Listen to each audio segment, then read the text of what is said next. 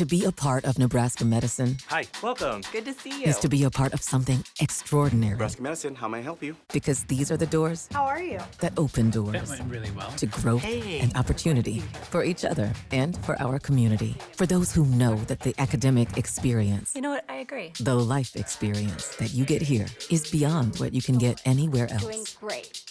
And that's exactly why here is where you belong. Nebraska Medicine, together extraordinary.